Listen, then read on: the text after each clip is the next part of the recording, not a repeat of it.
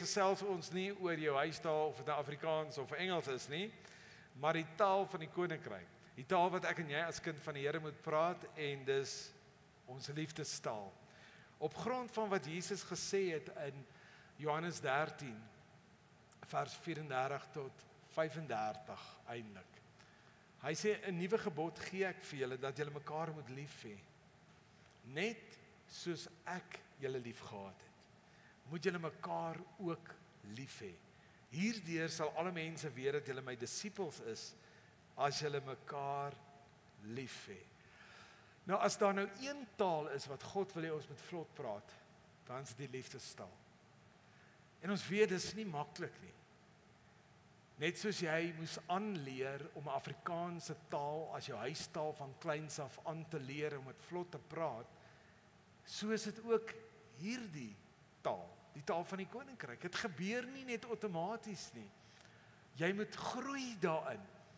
En ehm um, nou Paulus op 'n stadium skryf hy hier in 1 Korintiërs 13. Nou dis dieselfde hoofstuk waar hy verduidelik wat eintlik die pad van die liefde is. Hoe moet die liefde lyk in ons elke dag lewe? Iemand het by geleentheid gesê wat ek gereeld aanhaal wat gesê het you can give without loving but you cannot love without giving. Met ander woorde liefde vra uitdrukking deur ons lewe. Dan skryf Paulus nou in 1 Korintiërs 13, dis hoe die uitdrukking moet lyk. Hy sê jy kan alles in die lewe hê. Jy kan elke ander taal praat. Hy sê maar as jy nie die liefdestaal kan praat nie, dan beteken dit niks. Sit al die ander goedjies weg. Dit beteken niks. En nou skryf hy aan die Korintiërs op 'n stadium, ook in hierdie selfde hoofstuk. Hy sê ek sien julle sukkel so 'n bietjie en ek wil julle so 'n bietjie help. Hy sê ek suk ek sien julle sukkel met die uitdrukking van hierdie liefde. Hy sê want in hierdie tyd moes dit nou al anders te lyk. En op grond daarvan skryf hy toe nou hierdie in sy brief. Hy sê julle moet begin anders te dink oor die goed. Hy sê toe ek 'n kind was, het ek gepraat soos 'n kind, gedink soos 'n kind, geredeneer soos 'n kind. Maar nou dat ek 'n man is, het ek die dinge van 'n kind afgelê. En dit wys net weer in hierdie gedeelte wat Paulus skryf. Dit is moontlik. Ons kan al 10, 13, 15, 30 jaar op die pad wees. Op die pad wees bedoel ek 'n kind van die Here wees. Jy kan in verhouding met die Here staan. Jy kan baie keer nog soos 'n kind redeneer. Jy kan baie keer nog soos 'n onvolwasse dink. Jy kan nog baie keer soos 'n onvolwasse persoon optree. En dis op grond daarvan dat hy dit skryf. Hy sê want As daar nou een begeerte is wat God het vir jou en my, is dat ons die liefdestaal vlot sal praat. So eintlik gaan hierdie reeks oor groei. Dat ons sal groei. Dis dis God se hart om ons nie te los waar ons is nie. Hy's 'n progressiewe God. Hy's altyd 'n God wat vorentoe vat, gaan. Hy beweeg altyd vorentoe en hy wil ons saamvat die heeltyd. Maar vir, vir ons is dit belangrik dat ek en jy sal groei en spesifiek op grond van wat Jesus kom sê het in Johannes 13. Hy sê ek gee vir julle 'n nuwe opdrag nou. Nie die ou ding meer nie. Hy sê ons gaan nou anders te begin leef. Julle moet nou anders te begin leef. Julle moet ander lief hê soos wat ek julle nou lief het. Nou en Nou hoe groei ons in hierdie liefdestaal? Want want dit kom nie outomaties nie. Ek het nie net my ma toe hulle my in die hospitaal gaan haal het en op die bed neergesit het. Ek het sommer net praat Afrikaans. My mond oopgemaak en sê hallo, hoe gaan dit hier by julle nie? Nee. Ek het kennis geneem van klanke. En naderhand het die klanke woorde geword. En toe vorm die woorde nou 'n taal. En van daar af kon ek toe nou Afrikaans praat. Maar die vraag is hoe groei en ek ek moet groei in daai taal totdat Afrikaans my huistaal nou word en my primêre taal waarna ek kommunikeer. Maar hoe groei ons in hierdie liefdestaal? Want dit is tog God se hart. Jy's dalk goed in jou Afrikaans en in jou Engels en self Frans of Duits. Maar ons sukkel baie keer met hierdie ene. As daar nou vier goed is. Ek praat altyd van vier vlakke. Vier goed. As jy nou vreugde na jou lewe toe wil bring. Want ons almal soek dit. Ons almal soek vreugde, ons almal soek vrede. Ons soek almal sukses, dan's hierdie vier goed vir my altyd 'n barometer of 'n beginsels. Nou. En nou ek en ons en hulle.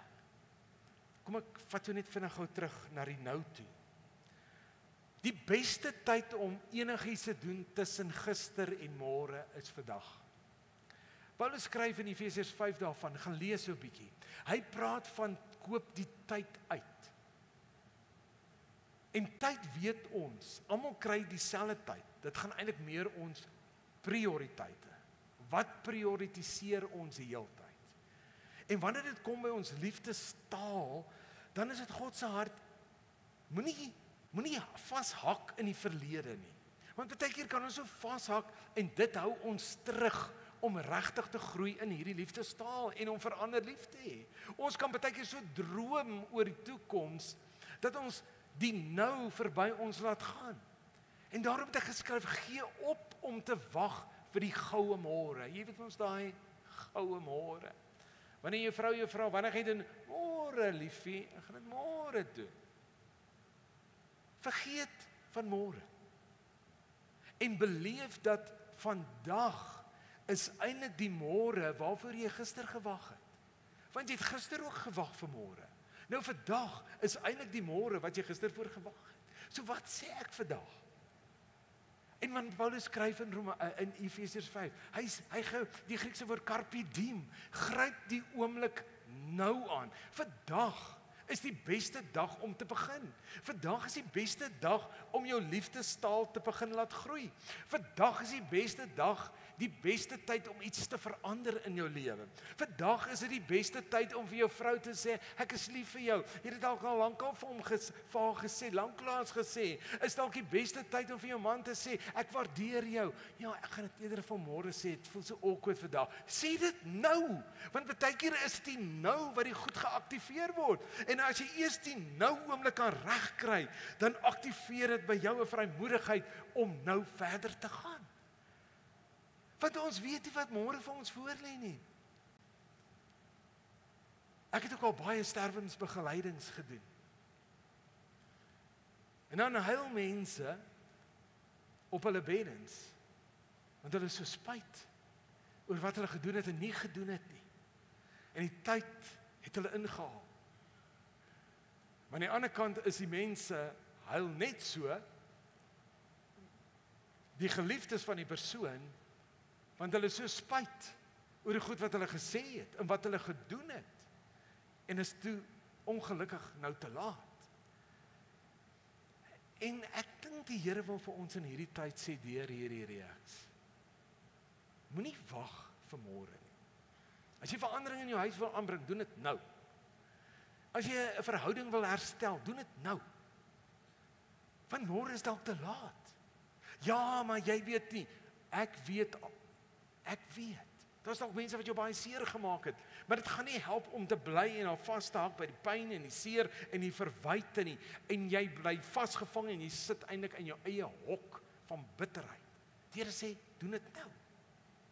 Volgende beginsel is ek, ek wil net gou hier weer by stil staan. Liefde begin altyd by jou en my.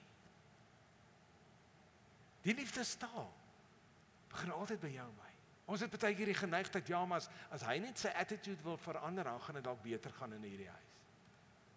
Of as sy net nie so wipperig is nie, kan dit dalk werk. Nee. Sal altyd by jou en my begin. Jy sien want ek gaan dit nie reg kry om ander lief te hê as ek ook nie myself liefhet nie. En dis 'n baie belangrike beginsel. Hoe sien jy jouself? Hoe dink jy van jouself? Hoe voel jy oor jouself? Ek dink as ons maar net vir 'n oomblik kan dink hoe God oor ons, hoe God ons sien. En hy oor ons voel. En dit is so jammer dat ons baie keer beroof word en beïnvloed word deur die leuns van die vyand en en die samelewing wat ons gedurig laat twyfel oor wie ons is en wat God te sê het oor ons. Die dag toe ek gebore is en ek het net daarna verwys, het ek sekere klanke gehoor. En ek het gehoor hoe ouers of familielede praat, klanke, ek het die klanke gehoor.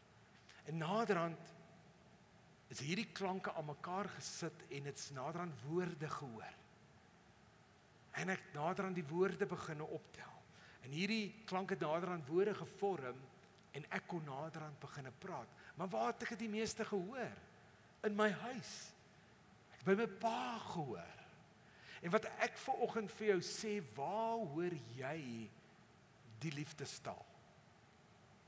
Dis so belangrik na wat en wie jy luister en wat jy hoor. Want dit gaan bepaal hoe jy oor jouself gaan dink en hoe jy oor jouself gaan voel en hoe jy dit naderhand gaan praat.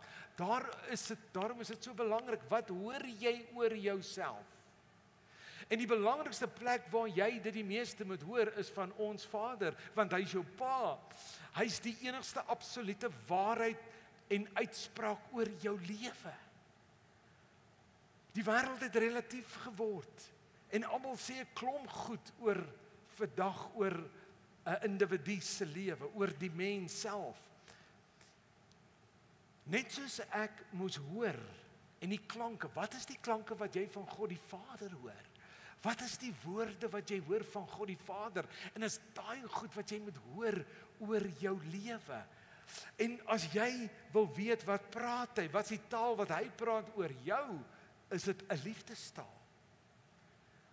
In al sy praat en optrede teenoor jou en my gaan dit net oor liefde. Hy sal gedurig sê hoe lief hy is vir ons. Hoe lief hy vir my het. Maar die tweede belang, tweede belangrikste ding is dat ek en jy dit sal glo. En glo beteken ek stem nou saam wat my Pa vir my sê, wat God die Vader vir my sê want hy is die enigste waarheid. Sy uitsprake oor my is die enigste waarheid. Want die wêreld het anders geword. Die waarheid daar buite is relatief. Alles is in, maar sy waarheid staan vas. En dis wat jy moet hoor, maar ook glo. En meer as dit. Ek en jy is die tempel waarin hy nou woon. En as hy dan nou in my woon, woon liefde mos nou in my. En ek en jy is gemaak as mens met die kapasiteit om hom te kan hoor, hom te kan ervaar. Maar daarom moet ons ingestel wees om hom te hoor. En soos ek hom hoor, moet ek dit glo. En daarom is die Bybel so 'n belangrike instrument in jou en my lewe. Die Bybel is soos 'n ek sê dit baie keer, is soos 'n is soos 'n venster Gaan lees maar 2 Korintiërs 15 uh 5 vers 18 2 Korintiërs 5 vers 18. Wat hy sê. Hy gebruik die woord doxa daar in die Grieks wat heerlikheid beteken. Maar ook wat opinie beteken. Die opinie van God en hoe kry ek sy opinie oor my lewe? Ek kyk in die spieël, ek lees die woord.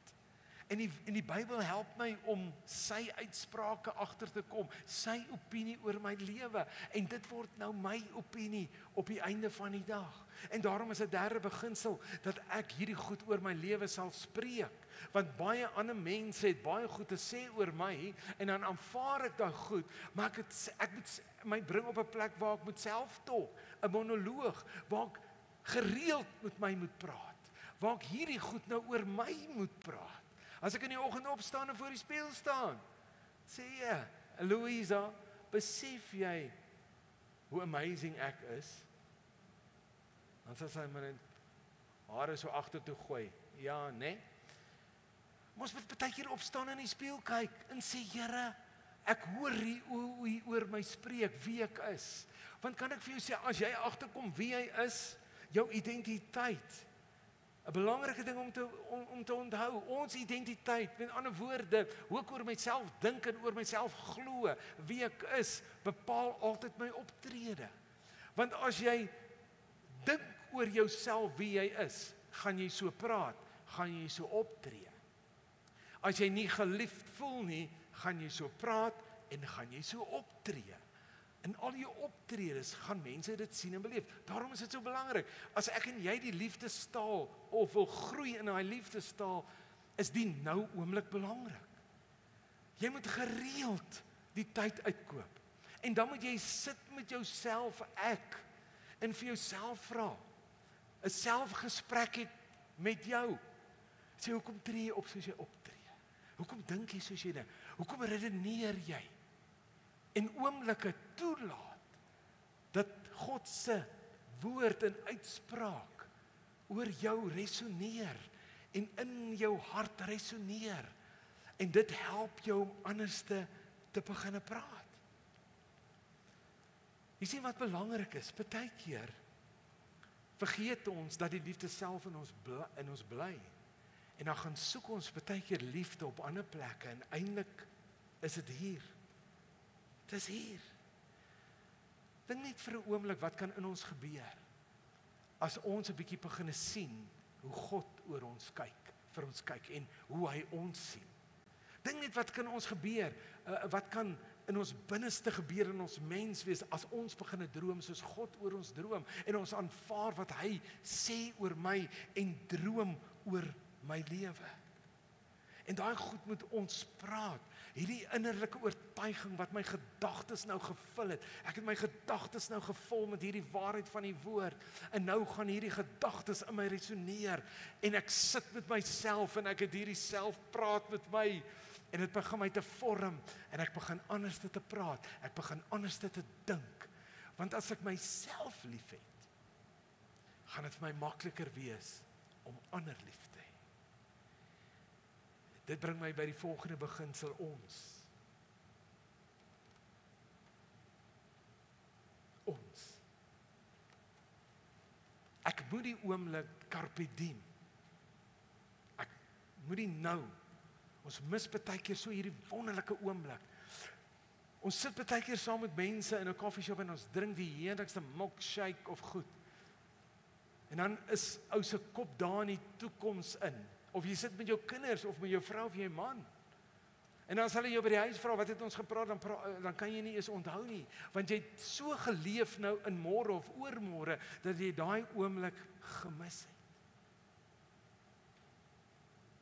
En die ek van dat ek my eers moet lief hê soos God my lief het sodat ek ander kan lief hê. Maar ek wil gou-gou vir jou ek's nou vooruitgespring Kom ek laat jou gou hierdie volgende skrifgedeelte lees wat ons by die ons gaan stil staan gou vir 'n oomblik.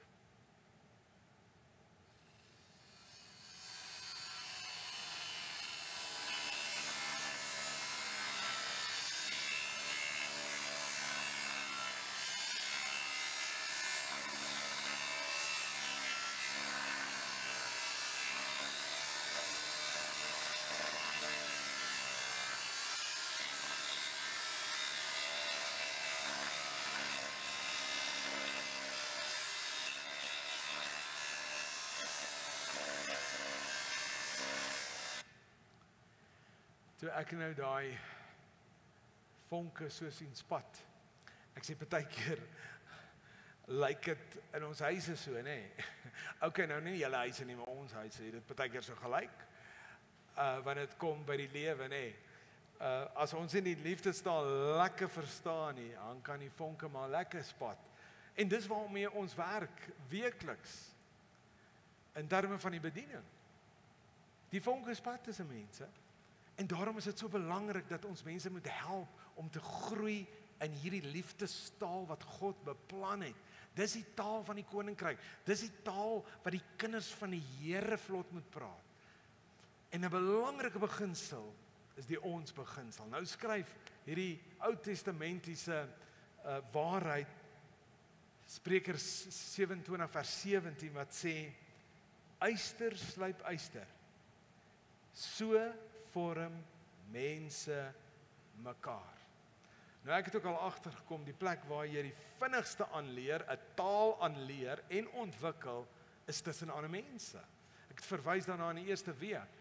toe ons nou in Frankryk sou woon en ek moes uh, vir Franse klasse toe begin gaan en die taal uh, magtig word, was vir my die maklikste om tussen die Franse te kom in die suide van Frankryk en daar het jy maklik begine praat. Maar wanneer dit by die liefdestaal kom, is dit eintlik dieselfde. Voordat ek en jy die vrymoedigheid het om 'n taal te kan praat daar buite, is dit so lekker om by die huis te leer. Dis eintlik waar dit moet oefen. En wanneer ek na huis gaan vir 'n wys vandag, is by jou fisiese huis daar waar jy en jou familietjie woon, maar dan het jy nog 'n huis. Dis jou kerkfamilie waar ons mekaar help. Ek sal nooit vergeet so 'n paar jaar terug en dit is so wonderlik. En ek gaan drie beginsels noem van ons vandag, maar dit is so wonderlik dat mense jou help op hierdie pad. En jy dink 'n predikant of 'n pastoor het alles in plek, maar ek sal nooit vergeet die een dag toe ek die woorde seun gebruik, seun van God en die woordjie seun blessing. En net 'n oom gesit het taal op die rus. Um en hy het vir my kom sê ek spreek dit goed verkeerd uit. En hy het my na die tyd gevat en hy het gesê Kobus, kom ek help jou gou-gou. Wanneer jy nou praat van die seun van God, dan sê jy seun. Sê gou-gou agter my aan, seun. Nou elke keer as ek daai woorde gebruik, nie dat die oom by my spook nie, maar dan doen ek dit met baie oorgawe want hy het my gehelp. En wanneer jy nou praat van die blessing van die Here, moet jy nou sê seën. En sê kort kort, Kobus sê seën. So dis iets wat ek nooit sal vergeet nie, maar dit was so 'n belangrik deel van my en ek het met die tyd geoefen en al hoe meer geoefen om uitspraak baie duidelik te maak. Dat ek nie my woorde insluk nie en en daarom sê die woord soos ons gemaak vir mekaar ook om mekaar te help met hierdie liefdestaal want dit kom nie maklik nie. En die plek waar dit moet begin is by die huis. My oudere pa het altyd gesê, moenie die perd by die skou leer nie. Moenie leer hom daar by die plaas, leer hom by die stalle, maar nie by die skou nie. En dis baie keer waar ons dit baie keer mis. Ons wil baie keer kan nie wag hier om hier by die deur te kom nie. Om vir mense te groet en so vriendelik te wees en môre. Maar wanneer laas het jy hulle gesoen by jou huis? Ons kan nie die wêreld red in ons eie huis gaan ten gronde nie. Dis daar waar jy moet leer. Nee nee. Dis daar. Dis waar jy die liefde staan moet leer is by jou huis. En daar oefen ons en daar oefen ons om dit makliker hier te kan doen. En hier oefen ons weer met ons kerksmense, ons kerkfamilie, maar as ek hom by die huis geoefen het, raak dit vir my maklik om dit hier te doen. Want jy het al gehoor hierdie uitspraak, nê? Nee? Jy moet lief vir hulle wees. Jy moet net lief vir hulle wees, in aanhalingsteken. Dit beteken nie jy moet nou van hulle hou nie of hulle aanvaar nie. Maar die volgende drie beginsels is so belangrik. Paulus skryf in Galasië 6 vers 2. Wanneer dit kom by om ek, uh, om te groei in ons liefdestaal in die beginsel van ons. Die eerste ons is verantwoordbaar teenoor mekaar. As familie, fisiese familie, maar ook kinders van die Here. In so 'n groepering, as jy deel is van hierdie familie, hy skryf in Galasië 6 vers 2, dra mekaar se laste. En dra beteken nie ek neem kennis van jou nie. Ag ja, fooi tog, nê. Nee. Dra is nie altyd maklik nie. Hierdie ding is nie te lig nie, hoor. En dit is baie keer en dis die dra waarvan Paulus van praat. Die dra is nie altyd maklik nie. Dit vra 'n bietjie poging. Dit vra 'n bietjie tyd en dit vra 'n bietjie aandag. En dan sê hy, want as ons mekaar se laste dra, hy sê wat gebeur dan? Dan voer ons uit in die opdrag van Jesus in Johannes 13 vers 34 tot 35. Hy sê, dan gaan julle leer om mekaar lief te hê soos wat ek julle liefhet. Hy sê dra mekaar. En ek het in die Engelse vertaling gaan lees van hierdie gedeelte, uh um die derde vers. Hy sê, if you think you are too important to help someone, You are only fooling yourself. You are not that important. So met ander woorde, wat sê hy hierso? Hy sê ons moet versigtig wees wanneer dit by ander mense kom. Onthou toe Jesus op aarde kom. Toe hy 'n nuwe raamwerk van lewe onder andere Johannes 13 kom vasmaak. Hy sê dit gaan 'n ander manier van lewe wees. Nie soos julle dit geken het nie. En hy die evangelie raamwerk, die goeie nuus, die evangelion, het hy gesê die raamwerk waarin hierdie raamwerk van die van die evangelie sal wees, dit gaan 'n mekaar raamwerk nou wees. Dit gaan 'n mekaar ding wees. Soos Paulus skryf, dra mekaar is een van die verwysings. Hy sê want as ons dit nie doen nie, as ons nie mekaar gaan help nie, want God se hart was nooit dat ons in isolasie sal leef nie. Nooit. Dis nie God se hart nie. Dit sal 'n mekaar ding wees. En omdat mense nie die mekaar ding verstaan nie, sukkel ons vandag en moet ons baie mense help wat nou die ding deur mekaar het en hulle lewe de mekaar het.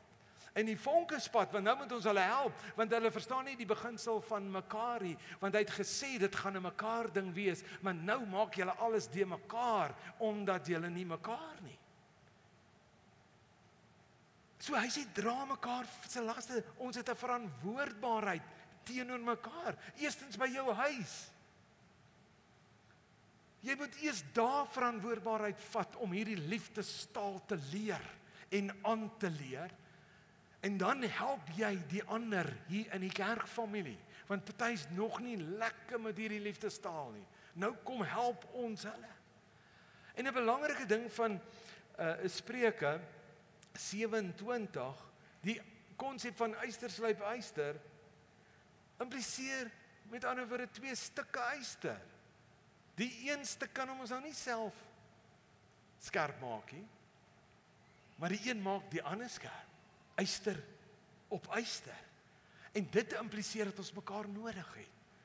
En verwysende wat Paulus skryf in Galasiërs 6 vers 3, die Engelse vertaling wat ek gelees het. Ons moenie dink dat ons so belangrik is dat ons nie ander kan help of ons nie gehelp kan word nie. Want ek en jy is nog nie perfek nie. Ons is nog nie in die hemel nie. En alles behalwe wanneer dit kom by die liefde staal so ons moet mekaar help. En ander genaby genoeg toelaat in ons lewe om te kyk.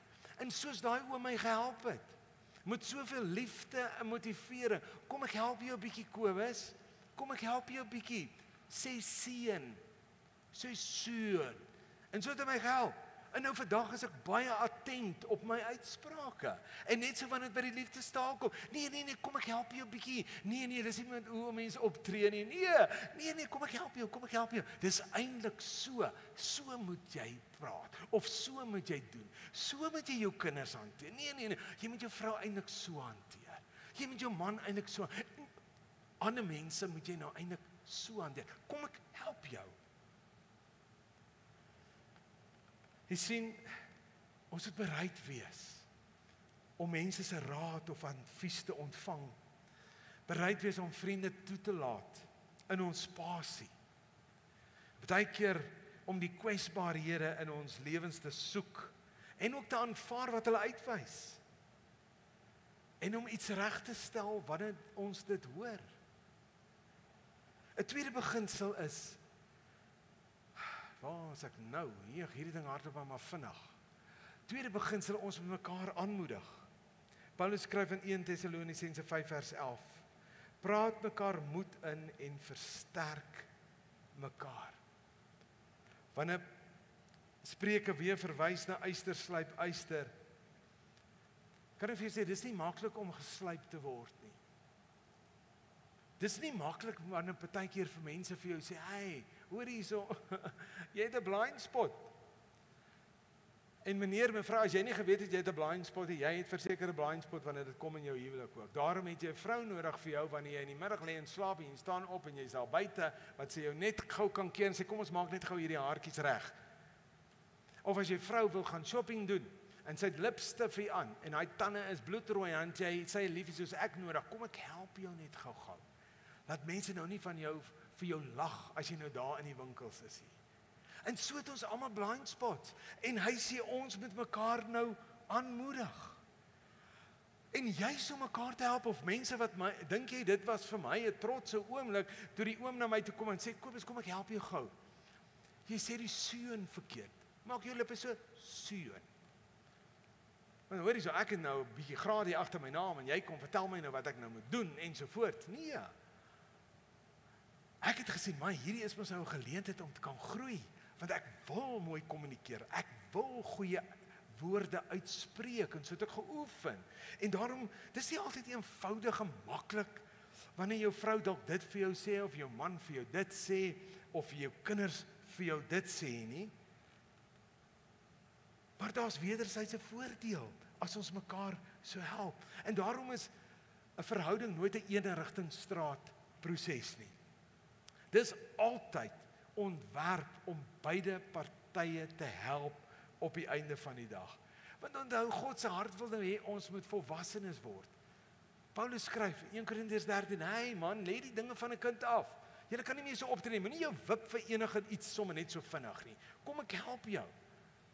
Moenie kwaad raak vir enige ding sommer net. Dit was nou nie nodig om kwaad te raak vir hierdie ding nie. Dink nou eerder, tel tot 10, leer nou voordat jy jou wil kwaad uh um wil word vir dit. Tel nou eers tot 10. As ek dink aan tiener groot maak. Hoe moes ek geleer het om my fights te piek? Jy kan nie elke ding aanvat nie. Dan rebelleer daai kind op die einde van die dag. Maar ek moet hom mooi dop mooi dop hou en dan kom ek in met 'n beginsel. En ek sal nooit vergeet soos ek my oudste seun groot gemaak het, het hy sommer gehelp om die jongste een groot te maak, want soos ek net nou verduidelik het, waar hoor jy goed? Waar sien jy goed? Hoe hoor jy? En soos jy hoor, tel jy op. En daai het so 'n realiteit in ons huis geword toe u uh Ian nou sien hoe ek werk in die huis en ek met hom werk en toe Kyle nou kom, toe kan ek so duidelik by tye sien en hoe hy optree teenoor Kyle. Sal hy vir hom sê nou sit jy en nou bly jy stil. en as nou Kyle nou stout was, dan het Kyle Ian hom sommer vir my reg gehanteer. En dan sal Ian kom en sê maar, "Daddy, gaan julle hom nie dissiplineer?" Sê ek, "Nee, jy het dit klaar gedoen. Dit is nie meer nodig dat ek dit moet doen nie." En so tel hulle op, maar net so in terme van aanmoediging. Dit was gister weer so lekker om net hier langs die strate hoor terwyl jy hardloop. Jy weet dan skree hulle vir jou hou bene hou. Ek weet my bene is nou nie meer so jonkie maar hou bene hou en aanmoedig en kry sommer weer lekker energie en dis presies wanneer dit gebeur by ons liefdestaal. Wanneer mense die woord sê ons moet mekaar aanmoedig. Maar daai aanmoediging kom vanuit 'n verwysing van liefde en omgee. Nie so so so so en al jou swakheid uit te wys en te vertel jy's nie eintlik goed genoeg vir enigiets nie. Nee, is om jou aan te moedig want God se hart is dat jy sal groei tot die beste man, tot die beste vrou, die beste kind van God en dat jy die liefdestaal vlot sal praat. Dis God se hart. En nou skryf Paulus hier in Hebreërs 10 Paulus is die skrywer van Hebreërs, maar die skrywer skryf, hy sê in uh, Hebreërs 10 vers 24, hy sê discover creative ways to encourage others and to motivate them to motivate them toward act of compassion doing beautiful works as expression of love. Nou wat ons agtergekom het in ons familie omdat 'n ou besef hoor die lewe daar buite het maar 'n manier om jou te vat die realiteite van die lewe. So jy het 'n veilige plek in jou huis nodig Jou huis moet 'n veilige hawe wees. En daarom het ons jare terug 'n love zone begin. Met ander woorde, as iemand daar in die huis inkom en jy sien daar's 'n skade weer oor hom of haar en almal het daai almal het daai beerte. As hulle kan gou sien die manier hoe daddy loop, hy hy's nie lekker vandag nie. Kom sit gou. Ons het 'n love zone oomblik. Laat die koffieketel uh, warm raak. En dan kan hy uit ek 'n geleentheid om te sê hoe ek voel. En hulle vertel, ja, ek sien nie lus vir hierdie ding nie. Of ek is nie meer daar nie of ek voel nie meer dit nie. Ensovoorts ensovoorts. En dan gee hulle vir my geleentheid sonder om veroordeel te word. Het ek nou 'n oomblik waar ek my hart en emosies kan deel. Kom hulle met 'n koppie koffie. Kom hier om my, bid vir my, lief my. En as ek al opstaan en sê weer leg reg vir die wêreld om aan te vat. Jy sien Dis hoekom Paulus sê ons moet mekaar aanmoedig. Dis nie net om mekaar se foute uit te wys nie, maar ons help mekaar want God se hart is dat ons hierdie liefdestaal vlot sal praat. Maar die motivering moet altyd hierdie passie, hierdie deernis wat ons vir mekaar het openbaar. Nie om te verwyd en sê ja, maar ek het vir jou mos gesê. Ek het mos vir jou gesê, dis al lankal daar klaar gemaak. Ek het mos nou vir jou gesê, nee, dis nie wat ons nodig het. Wat nodig is is mense wat vir my omgewing skep in my eie huis waar ek kan veilig voel en sonder veroordeling my hart kan oopmaak. So hulle slyp my. En volgende keer is dit dalk een van die seuns of Louisa en dan slyp ons weer daar en ons help sodat ons eintlik kan groei in hierdie liefdestaal. Derde belangrike beginsel, ons moet gewillig wees. Gewillig wees om te groei en ook gewillig te wees om te laat gaan. Partykeer het ons mos ons eie maniertjies. En daai maniertjies is baie keer 'n irritasie vir ander of maak ander seer in maniere ons optree of goed sê of uitlatings het. En ons weet dit is nie maklik nie. Net soos daai grinder goed afskuur, die onnodige goed wat daar is, moet afgeskuur word. En baie keer die taal, wanneer ek nou praat van die taal is ons liefde, nê, nee, hoe ons leef, moet baie keer goed afgeskuur word by ons. En dit is nie altyd maklik nie. Dis nie altyd lekker nie. Maar dis goed. Want as ons regtige saak het met mekaar, dan sal ons daai groei toelaat in ons lewe. En en daarom is dit so belangrik hulle wat naby jou is. Wat jou op hulle hart het, wat vir jou lief is, moet jy toelaat om vir jou raad te gee, om jou te help. En dan moet jy die gewilligheid hê en die aanvaarding om dit te ontvang. En dan sê jy, ek is gereed vir ek moet groei. Ek moet groei in hierdie area. En dan is daar nie 'n plek om nou trots te wees nie. Ek kom met groot trots vir daai oom daai een dag gesê, "Ag man, jy weet nie waarvan jy praat nie. Ek is ten minste 'n predikant." En ek het grade. So, moenie vir my sê wat ek doen nie. Nee. Ek was vir 'n oomblik my trots sak. Ek sê altyd vir paartjies. Onthou nou wanneer jy in 'n huwelik instap word dit nou 'n ons. Partykeer dink ons I'm God's gift to this planet. Dis nie waar nie. Don't think you are important. When you think you are important, don't fool yourself. Partykeer moet jy op 'n plek kom waar jy sê ek gaan net so 'n bietjie terug staan en toelaat dat daar inspraak in my lewe gegee word. Want onthou ons moet almal groei. Dis 'n groeiende verhouding om ander mense in ons lewe toe te laat en hierdie harde kante af te vry. Vryf. Twee belangrike beginsels in dit waar ek gewillig moet wees. Ek moet gewillig wees om ander te help. En ek ek het dit in die eerste diens so gesê, dalk het jy nie kerk nodig op 'n Sondag. Dalk het jy nie nodig om kerk toe te kom op 'n Sondag nie. Maar ons vergeet daar's ander wat jou dalk nodig het. Ag, ek bly eerder by die huis. Doen lekker goed daar by die huis as wat ek nou kerk toe moet kom. Kan ek vir jou sê hoe belangrik dit is want dis mense wat hier sit en wat jou nodig het. Partykeer is dit net 'n handdruk, partykeer is dit net 'n glimlag. So ons moet gewillig wees om ander te help, maar dan die tweede beginsel is ook ons moet gewillig wees dat ander ons help. Ons het dit nog nie alles bymekaar nie. Ons groei nog steeds in hierdie liefdestaal. Kan ek vir jou vertel? Al lank in die bediening, voltyds. Maar ek groei nog en ek leer nog elke dag. Want baie keer is my mond voor my brein. Dan moet ek net weer 'n bietjie teruggetrek word. Dan daar 'n vrou en as haar kinders wat 'n bietjie slyp. Sê daddy onthou nou. Onthou nou. Dan daar 'n vrou wat aan my sal stamp en sê dis nou nie die regte tyd nie. Trek jou nou net 'n bietjie terug. En so help ons mekaar.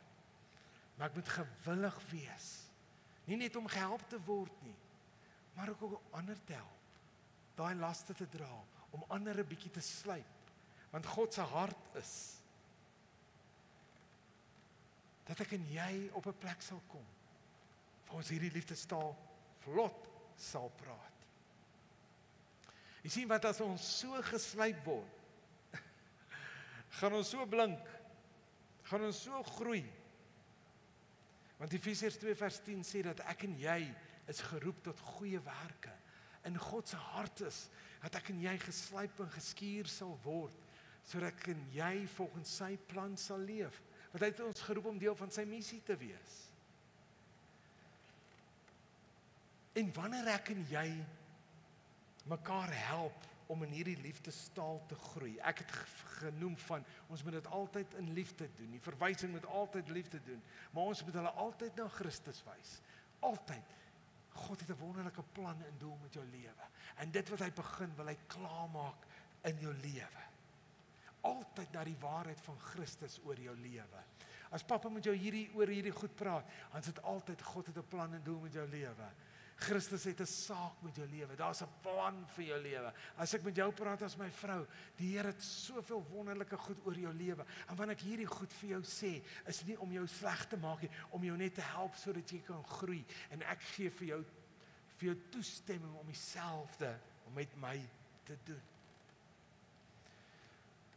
Ek wil afsluit deur te sê of dit nou messe is of kettingsae, skare, skaafmasjiene, swaarde, naalde, bytels, noem jy dit. As hulle dan maar skerp gemaak is. Dan werk jy nou maar lekker met hulle, nê. Nee. Dis 'n maar kragtige gereedskap in jou hand. Maar nie teenoorgestelde is ook waar. Dis baie gevaarlik en ondoeltreffend as daai gereedskapstukke nie skerp gemaak is nie. Ek dink dieselfde vir ons. Selfde vir jou my. Ons kan so kragtig en ons kan so effektief wees as ons toegelaat word, as ons toelaat dat ons so 'n bietjie geslyp word, aangeskuur word, gehelp word. Maar aan die ander kant, as ons nie toegelaat word om baie keer geskuur te word, ons karakter 'n bietjie geslyp te word dan kan ons baie keer baie gevaarlik uitdra. Ons kan goed doen, ons kan goed sê wat baie skade aan mense se lewens bring en mense om ons rondom seermaak. Nou alles 'n mes stomp. Hy bly nog 'n mes, nê? Nee. Hy verander nie. Wat ek wat wil ek daardeur sê? God het nooit 'n saak met die goed wat ons dalk gister aangevang het of ons verlede nie. My te saak met ons nou. Hy daag ons ons uit. Wat gaan jy nou met dit doen wat jy nou gehoor het? Jy het al klomp goed aangevang en jy het die goed gesê wat jy nie moes sê nie en gedoen het en jy spyt oor 'n klomp goed. Maar wat van nou en vorentoe? En dis 'n wonderlike uitdaging. So die Here hou niks teen ons nie. Al was ek nie 'n skerp mes nie. Ek bly nog 'n mes. Ek bly nog sy kind. Of was was ek nou nie die skerpste in die kombuislaai nie. In die messelaai nie. Maar soos ek hom gaan toelaat om in my lewe te werk en hy nou aangryp, wil hy dit doen. En hy wil ons verander sodat ons kan word en kan wees waar hy oor waar hy oor gedroom het. Die man en die vrou kinders van die Here. Hy's eintlik te lief vir ons om ons te los soos ons is. En daarom sal hy 'n man en 'n vrou of 'n kind in jou lewe gebruik of deel van hierdie kerkfamilie om in jou lewe in te spreek sodat jy sal groei tot jou volle potensiaal. Maar meer as dit, sodat jy kan groei om die liefdestaal vlot te praat en te volbring. Johannes 13 vers 34 tot 35. Net iets prakties ek het jou nou vertel van ons love zone. Begin suits vandag som in jou huis. Moenie wag tot môre nie. Begin dit. Dalk is jy so onvrymoedig in jou huis om met mekaar te praat oor hierdie goed, maar begin net iewers. En as jy moet kom help, dan help ons jou, maar begin net iewers.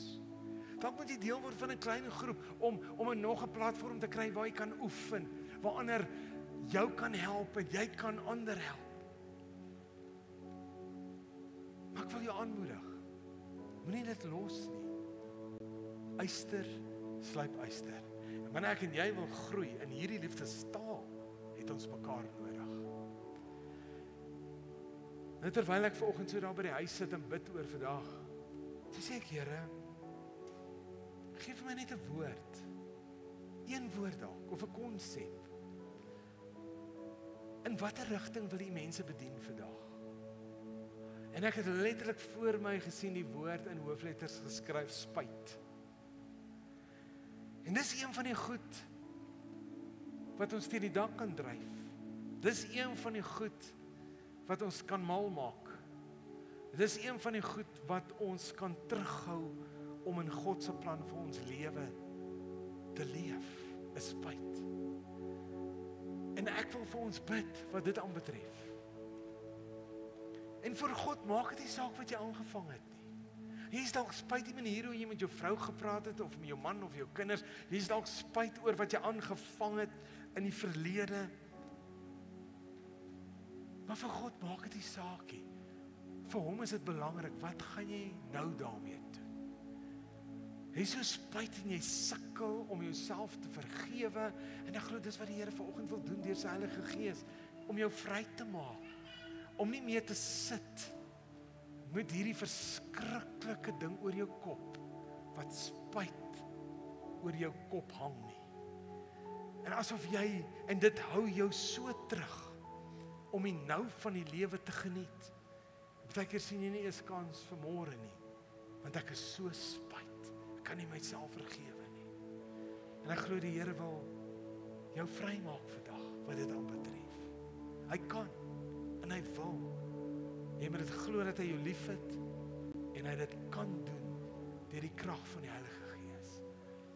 Jy dalk so spyt, jy het veroorsaak dat ander mense moet seer kry. Jy het veroorsaak dalk dat ander mense klomp geld verloor het. Jy het dalk baie goed veroorsaak en jy sit met hierdie spyt. Die Here sê ek wil jou kom vrymaak vandag deur my Heilige Gees. Sodat jy kan vry word om in hierdie liefdestaal te groei. So ek gaan dit vir ons bid. En dan gaan ek die tweede ding jou net daag vir 'n oomblik. Maar kom staan saam met my terwyl ek ons lei in gebed en die Here vertrou.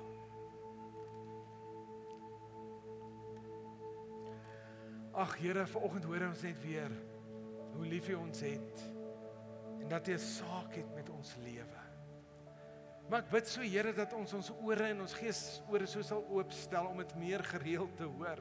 Maar nie net dit te hoor nie, maar dit te glo in daai gesprekke met onsself te kan hê en dit oor onsself te praat. Maar vanoggend weet ons ook, ons het mekaar nodig. Ag skep in ons hart o Heilige Gees net die gewilligheid om te kan groei.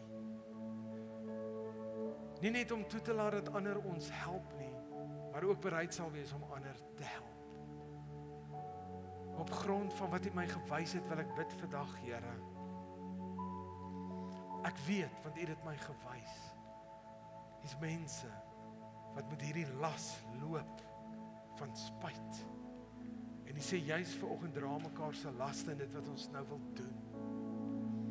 Ag Here, ek wil bid en jy sal weet hoe lyk jou lewe, jy sal weet of dit jy is. Jy sal weet dis jy. Jy sal weet. En wat jy net ver oggend moet doen en sê, Here, ek kom gee dit vir U. Here, ek sukkel om myself te vergewe. Maar kom gee dit vir U. Dalk in jou hart moet jy dit sê en sê, Here, ek is so spyt. En noem dit by naam. En laat toe dat die Heilige Gees jou kom vrymaak. Sê dit vir hom. Sê, Here, ek is so spyt. Sê vir hom. Dankie Heilige Gees dat U mense nou vrymaak. Want U het die vermoë en die kapasiteit om dit te doen. Sodat mense nie meer in gevangenskappe van hulle self sal wees nie. En dit hulle terug om ander lief te hê. Partykeer om hulle self lief te hê. Dankie dat ons U kan vertrou daarvoor. Dankie dat U mense vrymaak mense in vryheid sal leef in Jesus naam. Dankie Here. U doen 'n werk vandag. U doen dit.